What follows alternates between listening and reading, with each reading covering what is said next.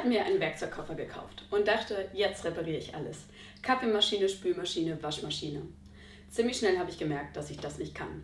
Denn entweder konnte ich die Bauteile darin, die kaputt waren, nicht reparieren, oder es gab keine Ersatzteile, oder die Ersatzteile waren so teuer, dass ich mir für den Preis direkt ein neues Gerät kaufen konnte. Was man dann ja auch meistens macht. Immerhin mein Fahrrad habe ich repariert. Aber auch da ist es so, dass wenn man zum Beispiel die Bremsbeläge wechselt, dass man die alten wegwirft und gegen neue austauscht.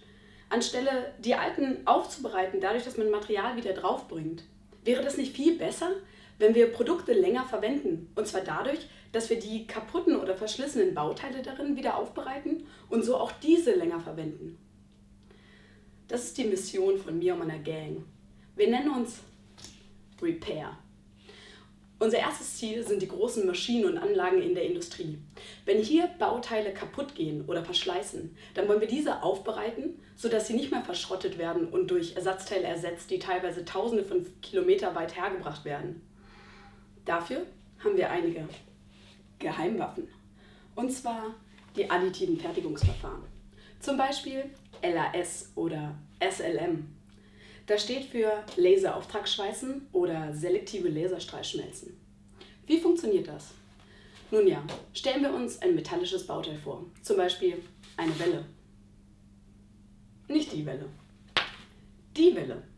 Wenn hier ein Durchmesser verschlissen ist, wir also Material wieder draufbringen müssen, dann können wir das im Laserauftragsschweißen machen.